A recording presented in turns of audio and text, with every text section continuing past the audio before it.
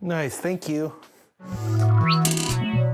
I'm Nick Reinhart, and this is my studio assistant, Dot, and this is Show Us Your Junk.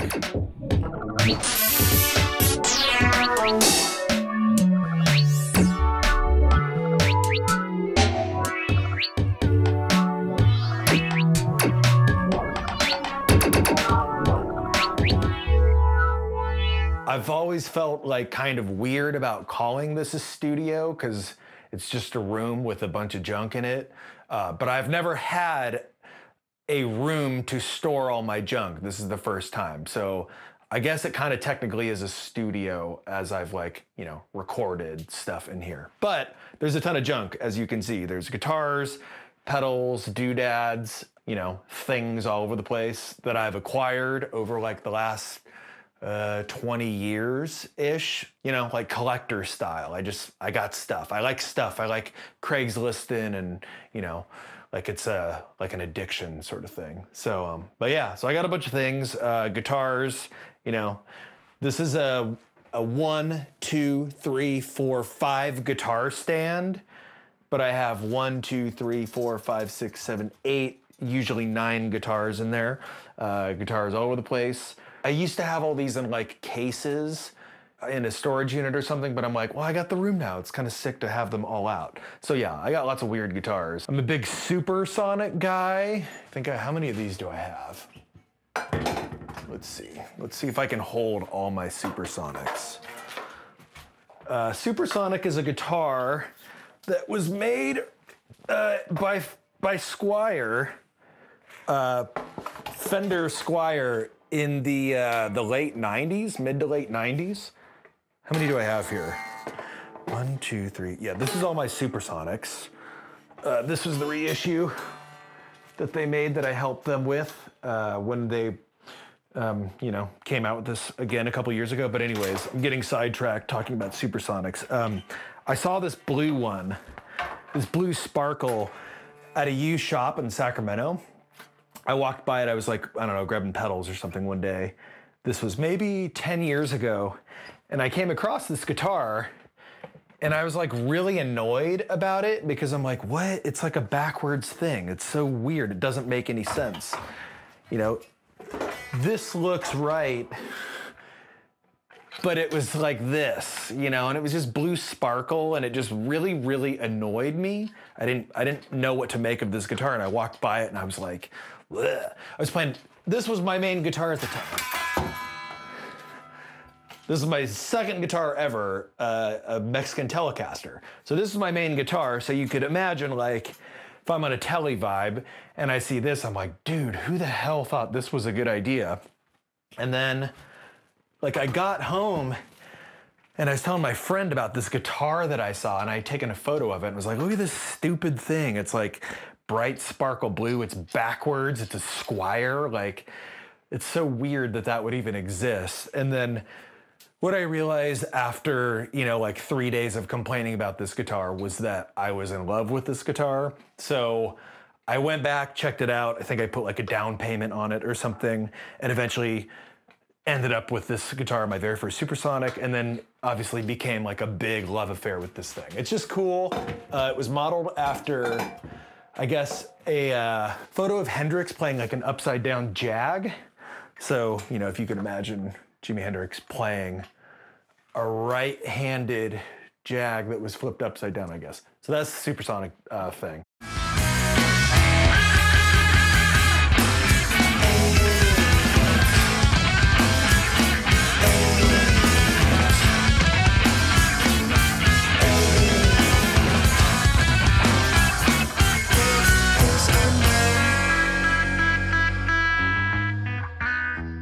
A lot of the gear acquisition started with, you know, newspaper ads, eBay, Craigslist, pawn shops.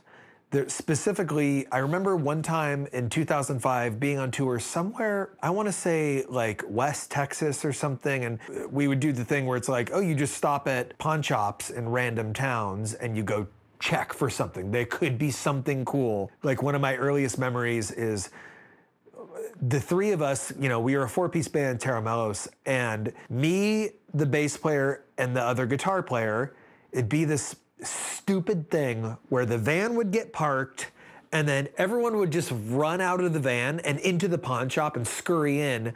And it was this bullshit thing of like, who would find the pedals first? You got to get in there first because you're going to get that. And I remember being like, this is so lame that we're playing this game. Like, I hate doing this because I'm in the back seat and oh, you were up you know, in shotgun and you got out first. And it, it happened one day where we ended up at this shop, I think somewhere in Texas, and the guitar player got out first. He made it to the counter first, and he found um, three Ibanez pedals of the, I can't think of the name of that series right now. We're gonna edit in a shot right here of those uh, pedals. Um, but anyways, he got two modulation delays and a compressor. And it, he got them for like, you know, these three pedals for like $110 or something, and maybe even less, maybe 80 for all three. You know, he bargained with the guy. And I remember being so mad, like, damn, dude, you got those. And it was this like awkward thing where he didn't offer to give me one of them.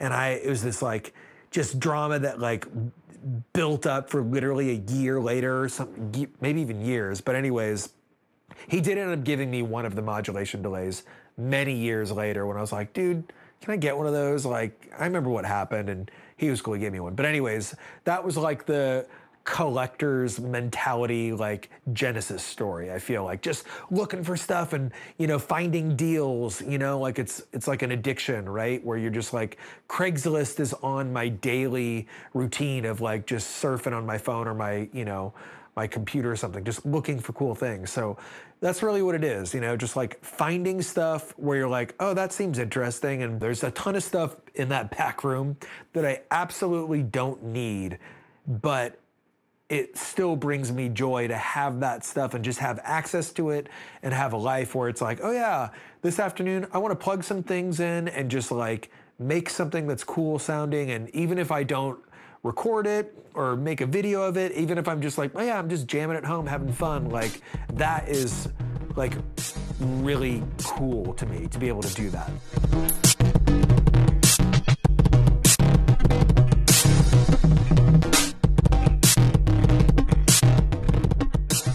Uh, this is kind of cool. I think I've talked about this before, but this is Jamie Stillman of Earthquaker Devices fame. This is his old Jazzmaster. Big fan, mastery, you know, kind of cool. Um, I got, this is like a funny little pair. Anyone, can anyone identify like what's going on here? You got the Kurt and Courtney. Got this when I was, uh, think 14 years old. Insert photo of me holding my Jag as a 14 year old. Here's another Jag. Um, this is a very highly customized Jaguar, kind of funny DiMarzio rail pickup, uh, totally kind of jacked up. You notice I have two inputs on this thing.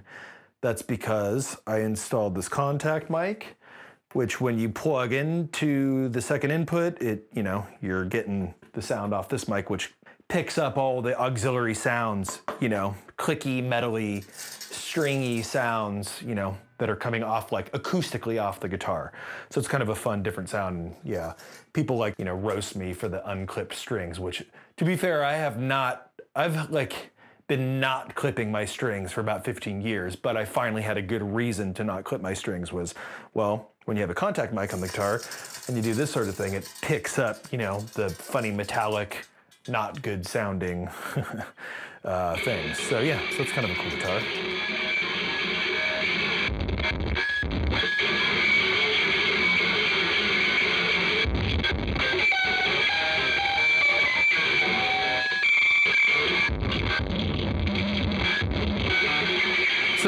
Here's our contact mic. Uh, I had a guy install this, like I was saying. I removed the tone knob uh, on the guitar and just had that turned into an output. And what I was doing before, you know, there's a cable, a little teeny guy that comes off the contact mic, and then usually it's a like a big fat quarter inch, uh, you know, slot or whatever. And before I had it just, you know, like screwed or like taped or hammered onto the back of the guitar or whatever.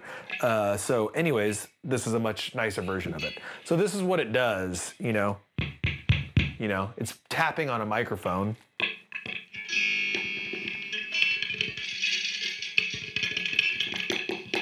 You know, there's so much like pieces and metal to a jag that, um,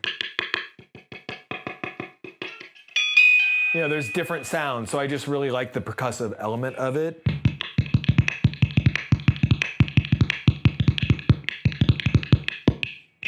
Or just like even the jankiness of, you know, the mic picking up the acousticness of the strings coming off the guitar.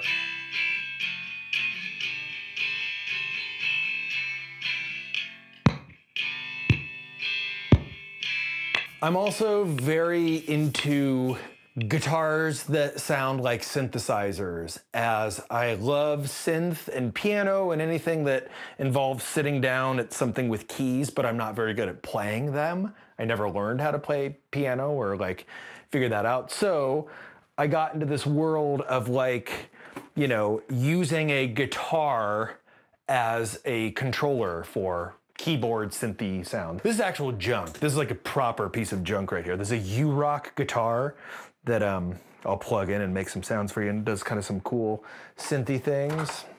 Back to the Supersonic. You can see that this is a, I guess, I can't, anytime I call this a MIDI pickup, someone in the comments is like, it's not MIDI, it's blah, blah, blah. But for all intents and purposes, it's converting the signal into you know, a MIDI type sound. So anyways, it's a big fat gnarly cable that uh, plugs into it and you know, you can control synthesizers through your guitar as opposed to say, you know, a keyboard like this where I just don't I don't really know how to make cool chords or like I just I don't really know what I'm doing on a keyboard. So to to be able to have the option of, you know, making those sounds via guitar is pretty cool. Uh, obviously, this thing's weird. There's like a whole insane story to this guitar that I feel like I would, it would take me like literal hours to go through this, but this guitar used to belong to a dude named Steve Carnelli, who was the in-house composer for Hanna-Barbera in like the 80s. So I somehow ended up with this guitar and the brain to it and all of his memory cards and patch notes for making, you know, Hanna-Barbera sounds. So it's insane. And I know that's kind of like, you know, a tease, but like just catch me next time. Just come over. If you want to come over and hang out in the studio at some point, we'll set it all up and I'll show it to you. But it's crazy. So I'm into synth guitars. That's the synth world.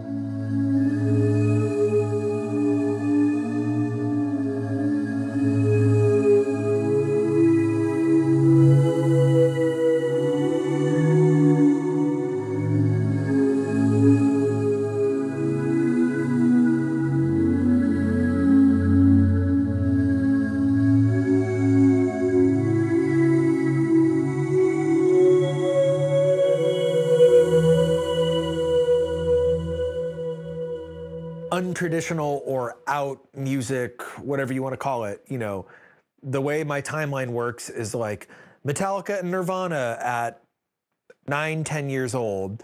And then, okay, like loud, kind of aggressive music.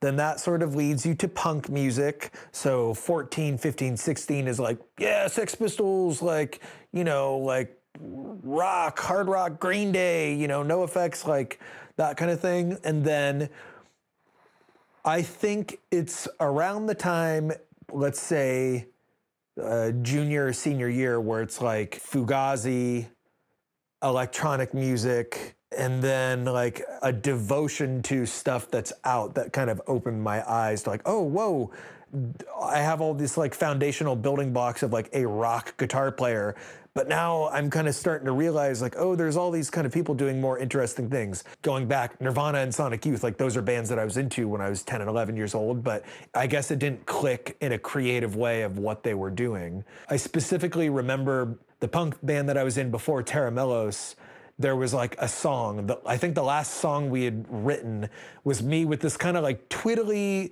guitar riff that I would say, I guess, was like sort of techie and proggy, I mean, and maybe I was like ripping off Hella or Fugazi or something, but it was just this kind of twiddly guitar riff that was a bit unusual for the, a punk band setting. And I can remember the singer being like, what would I even like sing over this? And you know, the other guitar player and drummer being like, huh, what are we supposed to do with that? And that was when I was like, I need to like start a new band and like actively remove myself from like being in a punk band to just getting bored with it and being like, well, I want to play, I want to move my fingers faster and like, and I don't want to just be playing power chords. I want to do like different cool sounding things.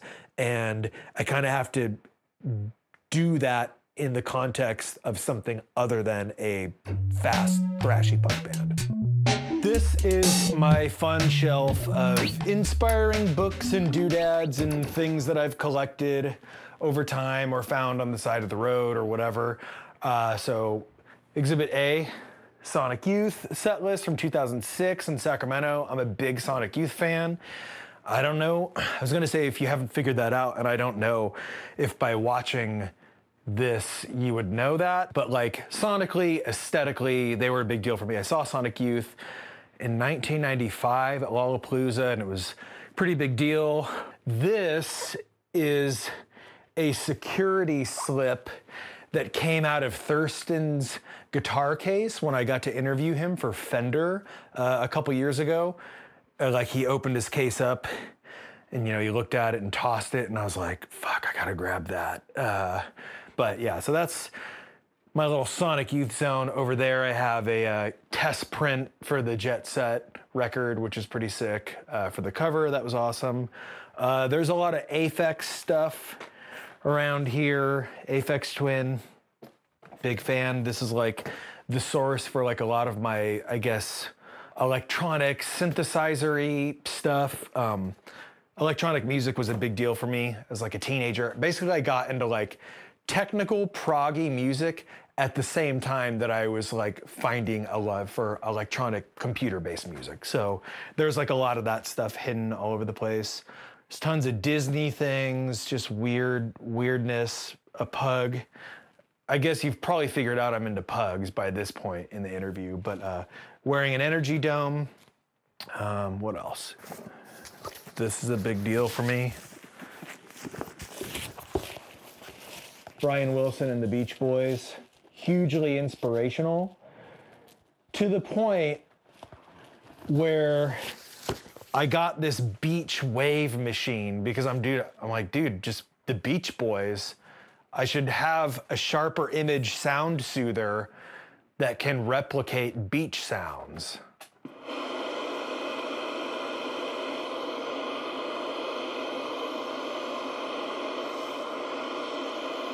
So yeah, pretty cool. Junk though. I think this was like $20 on eBay. Surf, Surf 2, Rain, Waterfall.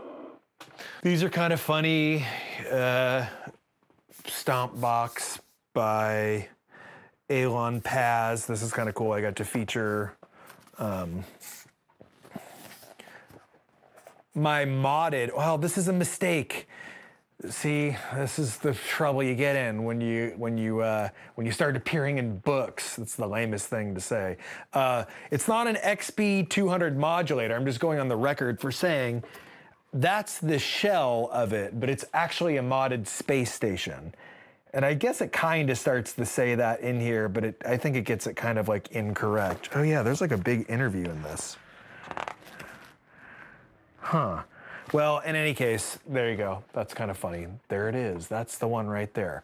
So, you know, at the time, like a space station, well, right now, a space station is very expensive. A real one, it's probably like 500 and up. But you can get these kind of cheapies uh, modded. This is the this is the XP200, the modulation system thing that's like, you know, chorusing and flanging and stuff. And you, all you got to do is like switch a chip in there and it turns it into a space station. So that's kind of cool. Uh, so yeah, rat pedal, like a distortion that's actually like shaped like a rat.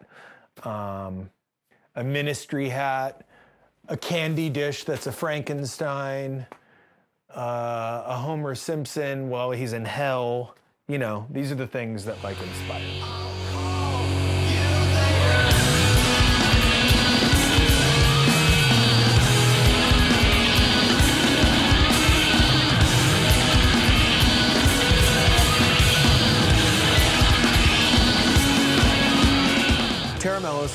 My band. We started it, I think, in 2004.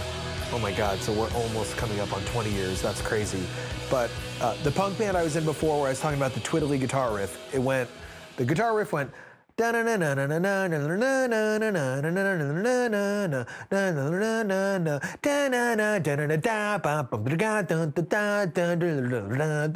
it's like this techie thing. So imagine that that nonsense I just hummed out to a bunch of like punks drinking like beer. They're like, "What? What are you doing, dude?" So I go, "Okay, we got to start a new band." So me and the bass player uh, started kind of like scheming on our own, like, okay, we should do this band. And we know this other weird guitar player from the hardcore scene, and he's kind of out and was like into different things. So maybe we could start hanging out with him and start making riffs together. So we started kind of like sitting on the couch just playing, you know, guitar and, and writing stuff. And one of the earliest things we did was like this riff that went. Bum, bum, ba, bum, bum, ba, bum, bum, ba, bum, bum, ba, ba you know, which was like, I guess in seven and then eight or something. That's like when we're like, oh yeah, we're kind of writing in like weird time signatures. So maybe that could be a thing that we do in this new band or whatever. So, anyways, that idea becomes Tera Melos, and we put out a record in 2005 and kind of just start touring and doing the DIY thing and then end up on a record label, Sargent House, put out a bunch of records and you know, like the the story of that band is like slow but steady. We've just like very, very like organically built a little bit of a fan base, you know, and the idea of the band was like, let's create a band where anything goes. Unlike the previous punk hardcore era where like, nah, you can't do that in this band. Like that doesn't work. You know, it's it doesn't make any sense. So we just wanted to do a band that we could do whatever we were wanting to do at that moment. So that was sort of like the concept of that band. And, you know, it started off as like a proggy kind of math rock type thing. And then it like morphed into all these different things, taking all these influences, the electronic stuff, you know, the punk stuff coming back around. And, you know, it's been like a very fun, rewarding musical project to have going because, again, like anything goes and figuring out ways to get these weird ideas out and put them into song format in a band like that is a very like rewarding thing.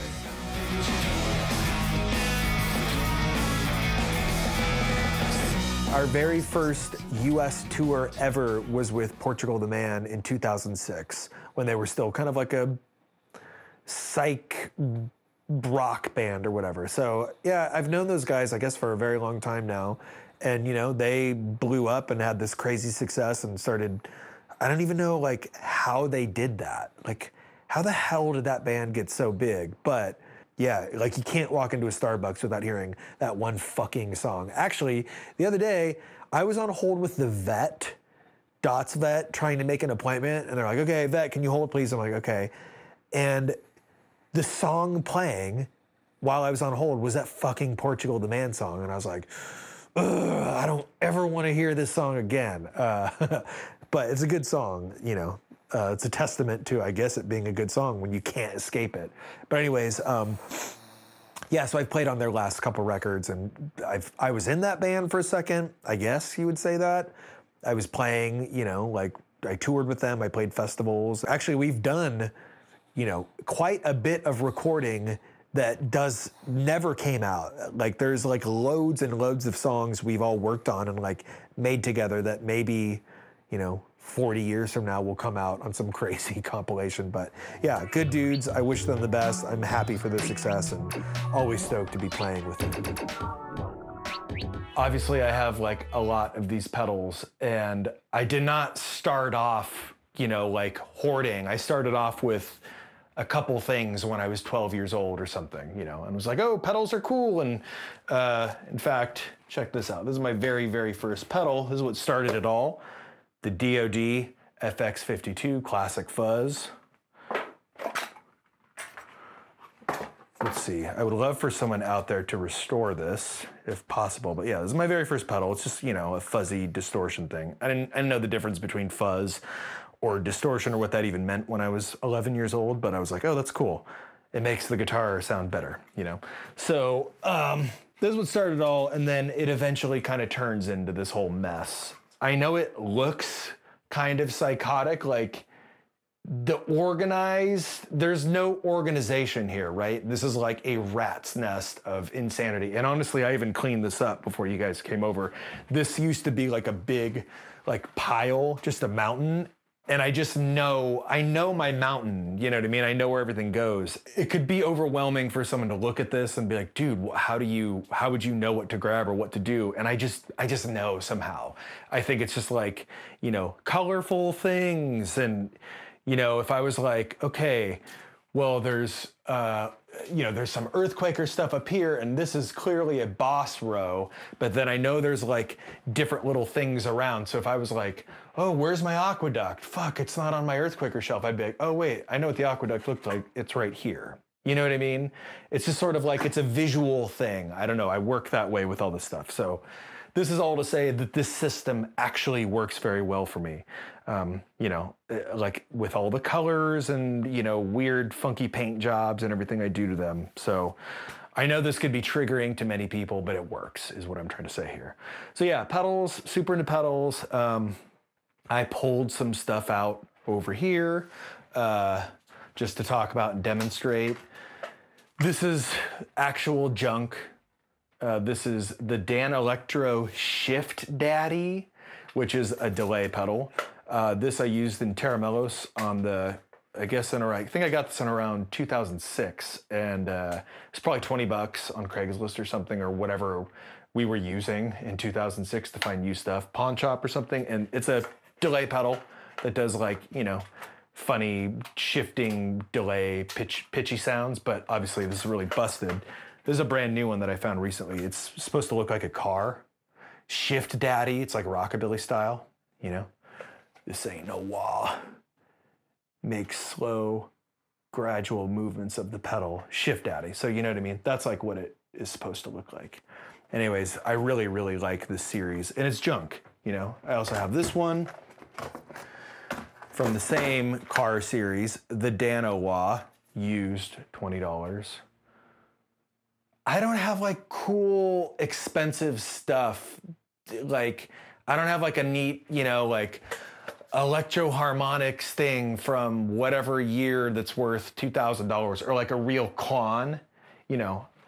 Sorry, I'm like, I'm like sidetracking here, but like I have a Klon clone. I don't have a real Klon. Do you know what I'm saying? Like, I'm into like, we're on like show us your junk, so we're going like deep junk style. So, anyways, back to the Danelectro. Uh, this is part of the same series. This is like a fuzz wah, which is pretty funny. And actually, um, funny story about this one. I sometimes will play Stooges music with Mike Watt. And when I was learning this set of music, I was like, fuck, I need a wah pedal, obviously, to play this music. And I don't really, I mean, I think there's some wahs hidden down there. Is this a wah? Source audio. No, that's an expression pedal. Is this a wah? No, that's an expression pedal.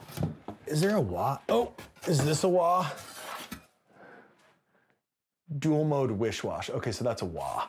Uh, yeah, maybe my system doesn't work like I thought it does. Anyways, this was the one. This $20 stupid Danelectro fuzz wah was like the most badass sounding, like, you know, set. Uh, Devi Ever um, Super Sodomizer. This was um, when my buddy Ben from Dwarfcraft, rad, rad um, pedal maker, he acquired Devi Ever and then asked me to do like a, a short run of custom pedals. Uh, and I did this with him. I did the art and kind of gave him the idea to do like a like a hyper version of the Sodomizer pedal. So that's what this is. If anyone out there wants to do a custom pedal with me, I'm like, I'm not trying to like be whatever, but I'm like, I'm down. I'm down to do like custom pedals. You want to do a signature pedal or something. Speaking of which, I kind of did that with this one, going back to like, you know, obviously like colorful, fun looking pedals. This is the Keeley, uh, what do they call this? What is the name? That's so funny. We didn't even put the name of this pedal on here. That's fucking awesome. What is this thing called? Oh, it's the Synth One. Here it is. so I did like an artist version of this guy you know, just going back to like colorful, fun things. I did the design on it. There's nothing sonically different. It's just like a limited edition, you know, funny looking thing. So it's the synth one, synth pedals. Told you I'm a big synth guy. This thing's funny. check this guy out. It's an envelope filter. It's not good sounding. Like I really am not into the sound of the DoD envelope filter. It was just like very quacky. On the first Tera Melos record, there's like a 29 minute noise jam at the end, the very last song, and like for any like real heads out there that know what I'm talking about, there's like a quack sound that is happening throughout this noise jam. And it was the not this one, but the original DoD envelope filter. So, anyways, I probably like heard that on that recording. I'm like, fuck, I'm super not into that quackiness that's happening. So, anyways, what I did with this envelope filter, this is the very first time that the first and only time I was like, oh, it'd be cool to try and uh, modify a pedal or circuit bend one, which surprisingly, not, not a lot of stuff in this room is circuit bent, but this is one of them. And so what I did, have a look here, I cut up a piece of headphone wire. You know, I just took a piece of headphone uh, cabling and just cut it. And I just gradually started systematically touching the two ends from like point to point, like systematically, like, oh, you know, one end would be on this thing, this piece of metal, and then I'd go through and just experiment to see like what was sounding cool or what was making something interesting. And I ended up landing on that point right there and this point right here. I don't know if you could see that, but anyways, it does something really, really cool. Um, and as you can see, I didn't solder. I don't know how to solder, so I just put a little piece of tape on it. So about 15 years ago, I just kind of taped that guy up with some headphone wire. But this makes a really, really, really cool sound. So instead of a quacky, shitty quack sound, it actually does like 808 sub drops. So you pair that with the fuzz, let's say the Super Sodomizer fuzz, and you get some like really, really gnarly sick sounds. So those are those guys.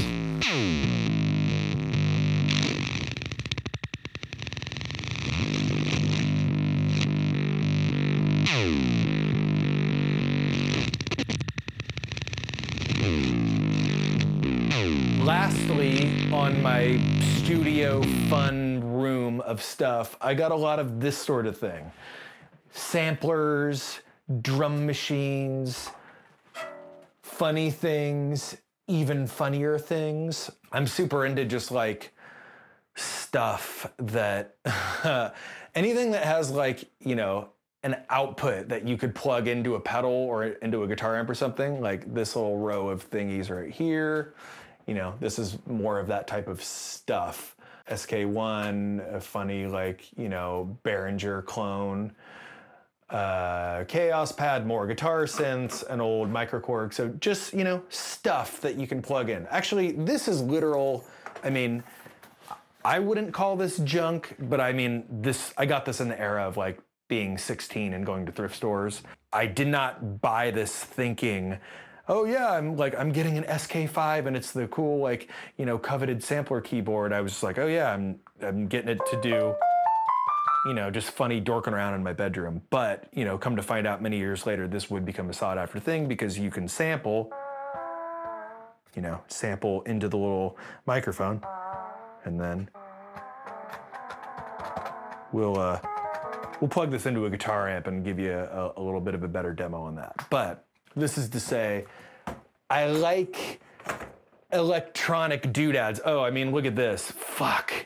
If ever there were like junk, I mean, this is, I got, I was visiting my parents at Christmas time and went into like a hospice thrift store and it was like, ooh, colorful, dumb looking, and $12. I don't think this had batteries at the time. There was no batteries in it, but I was like, whatever.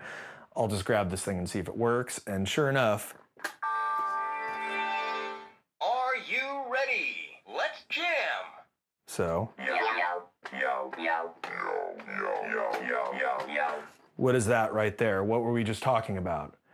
Output, headphone output. So that means you could plug this thing into any one of these hundreds of pedals and do something really interesting and different with this. So, anyways junk, dude. Like full on, there's nothing junkier than this thing.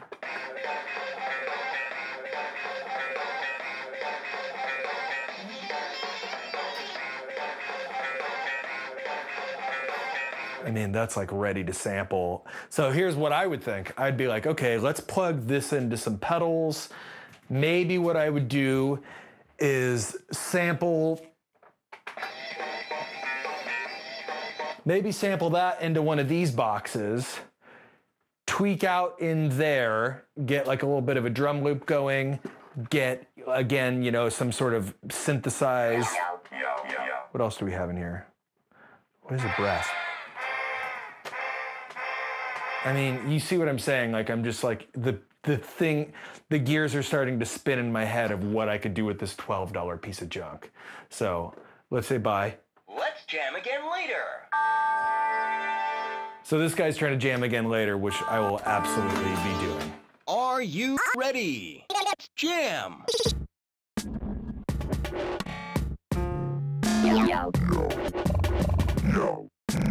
Hip hop, check it out.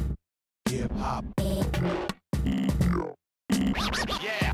Check it out.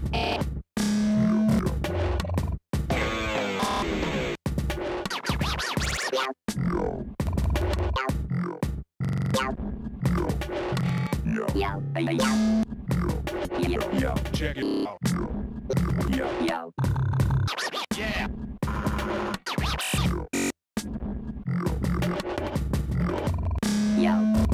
Yeah. Hip hop.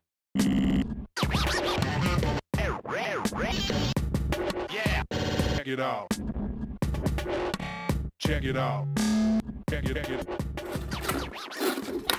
Line 6 DL4 looper. Started off as a love hate relationship because if you know what this pedal is, you know the deal with it. They were not made very well. Uh, they broke often. You had to get switches replaced and have them modified. And this is probably about half of the ones I've gone through. The other ones just ended up giving away or in the trash or something. But this is truly an extension of my playing, being able to use these, um, and they're rad. Like you know, it's it's definitely like probably my desert island pedal, but you know these ones back in the day they were really tricky. So there's like a crazy. I don't know the timeline of like from the day we're filming this to whatever day you're watching this on, but by now I'm guessing the new DL4 MK2 is out. This thing's insane. I mean, by now you've probably seen a lot of videos on it, and I've probably been talking about it for a long time. But as we are at my house today hanging out, this is unannounced, top secret shit that I'll probably get an email about being like, you weren't allowed to even say that in the video, blah, blah, blah. I'm like, dude, relax, it's good. So, anyways, DL4, this is the new one. It's a zillion times, uh, well, it's not a zillion times better. It's really like four times better because all they did was correct the things that were wrong with these. So, better switches, a normal power source, uh, smaller, more, you know, sturdy, structurally sound, uh, and it has reverbs and new delays in it. So, this thing's fucking sick.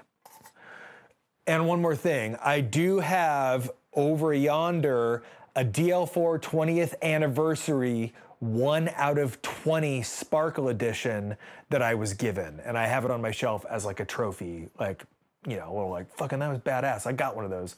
Uh, it's, uh, I think like The Edge got one. Dave Knudson from Minus the Bear got one. Maybe, I don't know, like some big dogs got one. I'm like, why did I get one? But I got one. So it's pretty cool you know, I lived in a suburb outside Sacramento called Roseville. Very nerdy, safe, sheltered suburb. So a- any of like my show going or like, you know, culture came from going to shows in Sacramento. And at that time it was, you know, growing up, it was punk, fast, hardcore, you know, that was like what I was brought up on. And then around like 2000, 2001, we all start hearing about this like new band that has this drummer that plays like an alien. And by that point, I was into electronic music, say something like Aphex Twin or Squarepusher.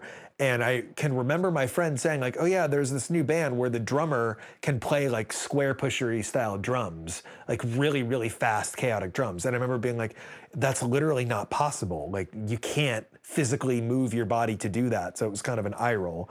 And we went to a coffee shop to see this band that there was chatter about, and that band ended up being a band called Hella, which was a two-piece instrumental band.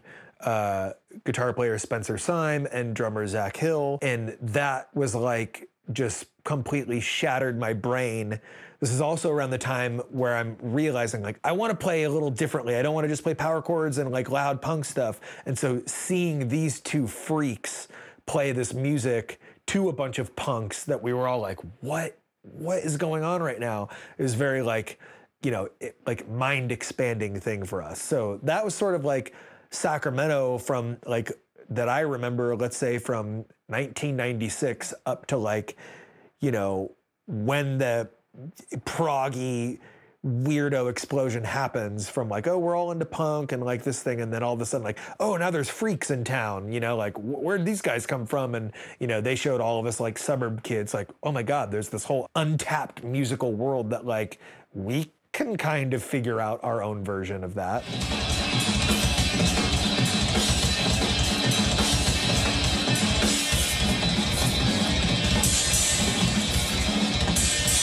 So, continuing the studio tour, uh, we have more synthy, doodad, uh, drum machine type stuff. Um, you know, like I was saying, I just like collecting things. Uh, you know, I got I don't. This was my but this is Juan's from Pedals and Effects. Uh, I don't even know what this is, but I just grabbed this from the studio at one point. Super section, programmable super section. I was like, that might be kind of interesting, you know. But just stuff, funny Yamaha DD5 drum pad, uh, you know, Omnichord drum machines. This is the brain to just kind of backtrack for a second. Remember when I teased you about five minutes ago about like the crazy guitar that was owned by the Hanna-Barbera guy? This is the brain to it, which I'm not gonna plug in. You just, like I said, come over and hang out. I'll plug that thing in. Um, what else? Uh, some funky masks. This is the cover of a Tera Melos record, uh, Trash Generator. That was the mask used for that. Obviously, I'm into like weird shit. Uh, this is another mask from the same series that I use for an electronic project called Acid Fab. Obviously, like I'm into like toys and funny things. Most of the stuff is all things that like has been gifted to me uh, on tour over the years, or like, you know, Tera Melos Award from this is the very first like shout out we got from the local newspaper in Sacramento. You know, or like, what else is something significant? That is from, it's a little guy from Belgium that I found. There's a peewee from somewhere. There's a funny pig's head. You know, I just like colorful again, going back to like, I don't know. This is just me. This is like my personality, and I like to have all this kind of shit just um, out and about. Uh, this is kind of funny. This is something specifically that I wanted to show y'all. It's just like a happy face, right? That like just hangs on the wall, but it does something pretty cool.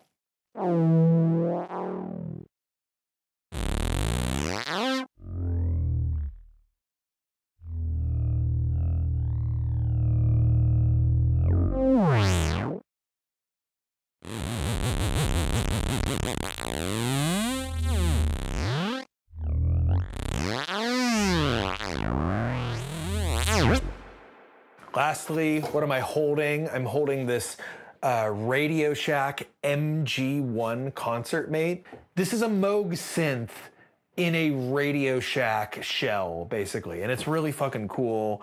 Um, but there's a funny story with this, going back to junk. I was like 16 at a swap meet and I saw this, you know, like laying on a blanket, blazing in the sun.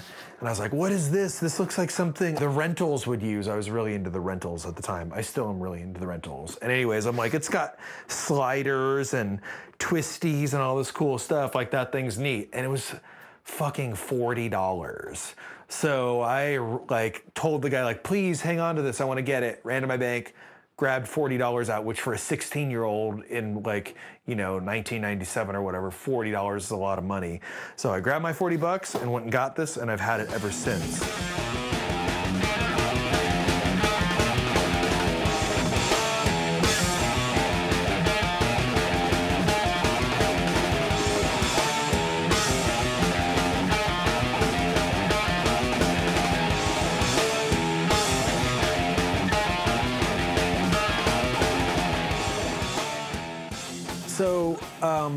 I saw Hella and Zach play many, many times starting around the year 2000. And I was so into it and enthralled by it and, you know, like felt my musical like DNA morphing every time I'd see, you know, him play.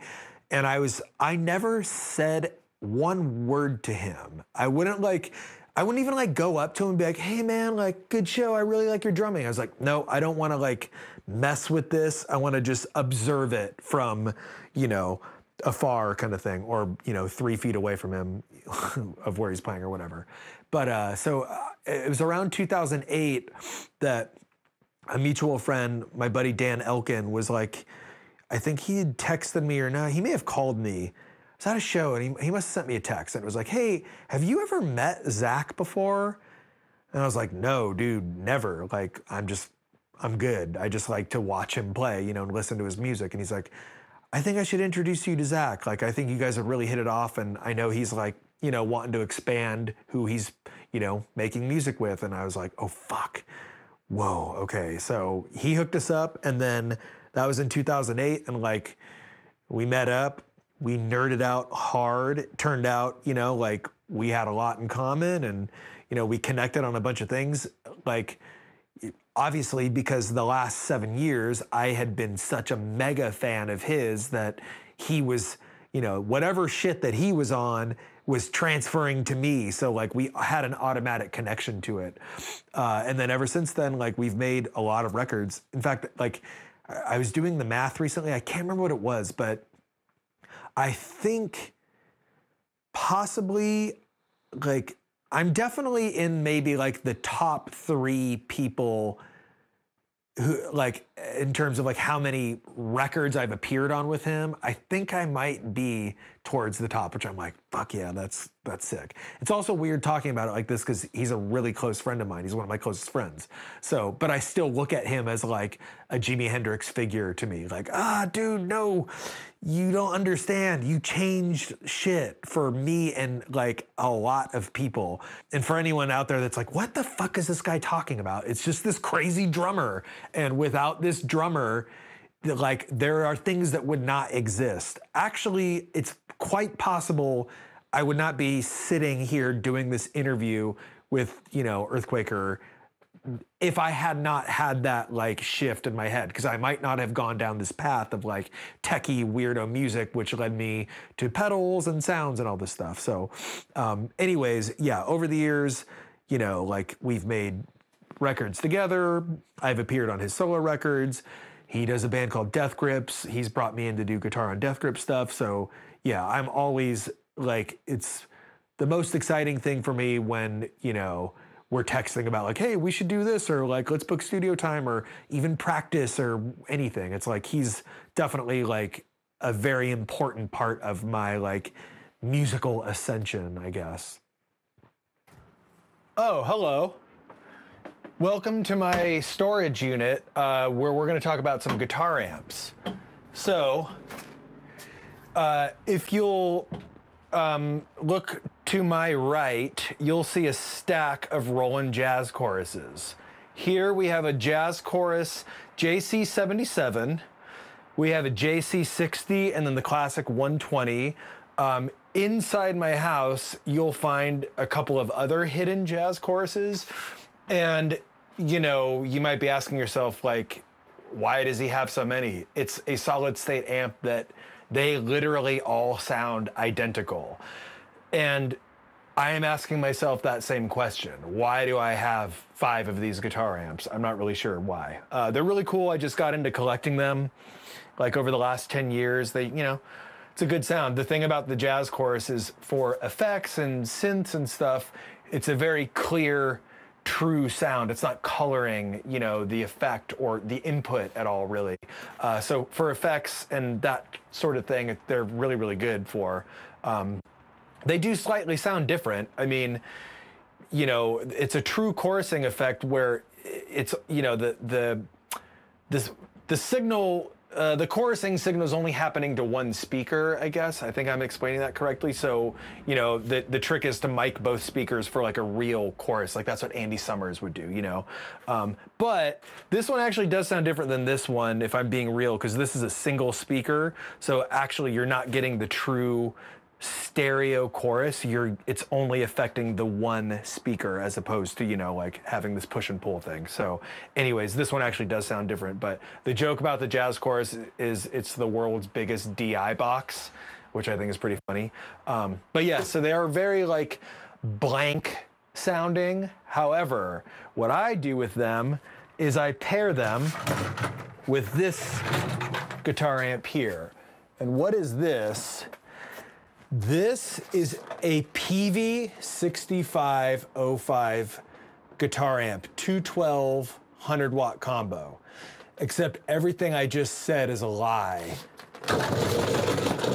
This is actually a Marshall JCM 800 head crammed into the body shell of a busted old Peavey 6505. Uh, so the deal with this is the JCM 800 is like a grail amp uh, in terms of like rock music. This is the Ian MacKaye sound, Tom Morello, like early Slayer, just that like mid-range crunch gnarliness. Um, it's a really, really good amp from the early 80s.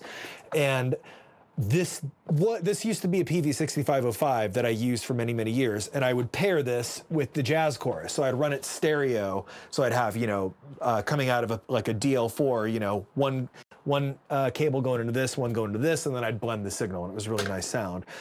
After many years of just like abuse the 6505 died on me and so then i went and found like my grail amp like i was saying the jcm 800 now the deal with this was was it came um, it, uh, it was a 212 combo and the box the the the cabinet was like museum quality exhibit b came in this guy, and I mean, this is from like 1981. Look at this thing. I mean, it's almost like it never left the studio. You know what I mean? So my thing was like, I don't want to be the one to ruin this. I would rather just keep it nice, which obviously we've all seen what my gear looks like. I don't care about nice, but something that's from, you know, that was taken care of like this. I'm like, dude, I don't want to do it dirty like that and ruin it. So what I did was I took this to some amp dudes and I was like, hey, can we figure out a way to put the head, remove the chassis from the actual 212 cab and drop it into this Peavey 6505 cab? And they were like, well, let us think on it. Any, anyways, obviously by now you've figured out that it's upside down. Like, what the hell? Uh, that was the only way to get this in here was to, um, yeah, flip it upside down and jam it through the back. Whereas, you know, what a Peavey 6505 usually looks like is this is not the controls. The controls are on top. So it would be like, here's all your knobs and everything. And then this is, you know, uh, this is a back plate usually with something like this, like a grill. At every show, a sound guy goes to mic it up, you know. He mics up the front. I'm like, oh, you notice anything funny about that amp? And they're like, no. You know, like a cranky sound guy, like, no, what do you mean? Looks fine to me. And I was like, check out the back. And then they they get to the backside and their mind is just blown because it's so hilarious and just like not right. so anyways, this is uh these are my live amps. Um and then I have that Fender Mustang, the Mustang GT, which actually, honestly, I've used that amp more than anything over probably the last two or three years because it's so convenient and sounds really good and, you know, it's easy for bedroom recording. But um, I do like amps. Well, well, well, what do we have here? A whole bunch of pedals and effects. This place probably looks very familiar to many people watching this right now, but if uh, you don't know what you're looking at, this is Juan Alderete Studio, Five Star Sound Labs, where we still do the pedals and effects thing. It's just been a crazy few years, so we've been chilling on it, but this is where it all happens. The magic, as they say. Uh, you know, I, I feel like we tried to ballpark how many pedals are in this room at one point, and I don't know. Leave leave your guess in the comments. What do you think this is? Is this 500 pedals or is this, I don't know. Like, look, 1, 2, 3, 4, 5, 6, 7, 8, 9, 10, 11, 12, 13. So a row is roughly 10 to 13. 1, 2, 3, three rows back. So let's say up to 37 pedals per row, say 40, 1, 2, 3, 4, 5. I don't know. It starts to get exponential and fucking crazy. But this pedals and effects, um, the way that this relates to my Show Us Your Junk episode is that before I moved down to LA, I had come down here. I was always down here visiting and doing music stuff. And I had met Juan, I think maybe in 2010 ish, at some Mars Volta stuff. And we kind of became buddies, you know, in the few years after that. And at some point, maybe around 2013, 2014, I came down here and Juan invited me to do uh, a pedals and effects interview where like I laid out my two pedal boards and went through everything and you know we talked about them and the sounds I made. And at this point, it's like janky shit. It's like a broken Danelectro tremolo. I'm hitting Dan. I'm like talking major trash on Danelectro on this show's your junk episode. So no disrespect, I love Danelectro, but like I had some trash on my board at the time and we did this interview and he was really stoked and i had a lot of fun and that was sort of like when we really hit it off hanging out for that day and then like after that is when i found myself in the position of i mean i guess i would say like uh, gear companies acknowledging my existence which just hadn't really happened up to then even though i'd been touring for you know over 10 years and uh, doing stuff with sounds, you know. But that was like, I, I, guess I got a lot of eyes on me from starting to hang out with Juan. And then he and I, like, he would have me come over again, you know, like, oh, you're going to be in town, you're visiting now? Like, come do another Pedals and Effects episode. So, um, anyways, when I eventually moved down here around 2014, 15, we started doing this more consistently, and then it became a thing we we do together. So let's just say I'm demoing for Earthquaker, or you know, uh, I don't know, doing some sort of live thing at the NAMM convention or whatever. All very foreign to me. Like I'm just on the record. It's not something I feel that I'm I don't know. I guess I'm good at doing it, but it just it's not like I like playing guitar and making stuff, not necessarily being like, here's how you do this, or you know. In, in other words, what I'm trying to say is it was like a very foreign world I found myself in of like being a gear demonstrator, but also trying to maintain my like artistic identity or whatever that means. So, anyways, this was like the start of it. And actually, were it not for meeting Juan and doing you know, the pedals and effects stuff, like I literally would not be facing this camera right now talking to you about all my junk. So that's the story of me getting into this world. Well, when it comes to like why do I or why would anyone make music? It's like not a choice really. It's just something that, you know, you're like, well, that's what I do. It's just, it is what it is. Like I don't I don't have an option not to create things with sounds, aka music. I think, you know, everything we've been talking about in terms of a guitar, you know, even just strumming a guitar on the couch that's not plugged in, or a funny piece of shit, junky kid's toy, or, you know, a really neat vintage synthesizer or something like all of that is like what means the most to me as a human, you know, and making stuff out of those types of sounds. I get asked a lot about like, oh, what how do you what do you practice? Like what is practice like for you?